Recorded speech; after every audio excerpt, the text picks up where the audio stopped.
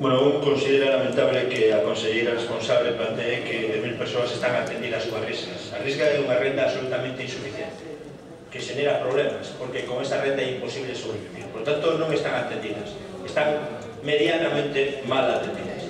Pero me parece tremendo que vostede plantese que non é responsable no retraso dos expedientes. Debe ser que a situación pola que se retrasan cinco ou seis meses nos concellos os expedientes e os informes non terá que ver coa decisión do goberno central do Partido Popular de non renovar traballadores nos servicios sociais. Será que nos seus concellos e tamén na Xunta de Galicia cada día hai menos profesionais que poidan atender estas necesidades polo recorte de personal e eh, o recorte orzamentario nos servicios sociais que ten feito o Partido Popular? Vostede pode, ademais, gabarse aquí nos incrementos nos orzamentos da Xunta. Iso significa un fracaso da súa política.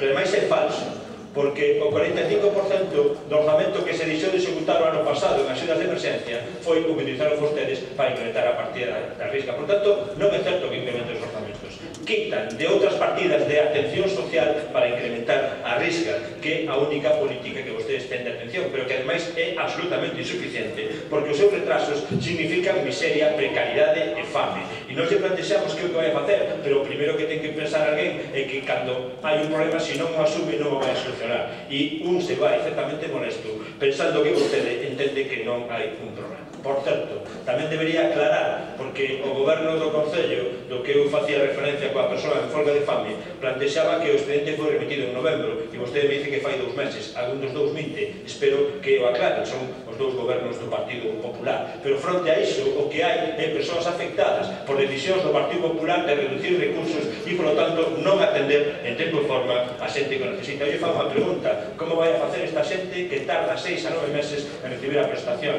Terá que ver o retraso con que non se acumulan e non se recoñecen os atrasos desde que o día que se solicita. Terá que ver que, que cada mes que ustedes retrasan a risca é un mes que se aforra que pagan ese xente.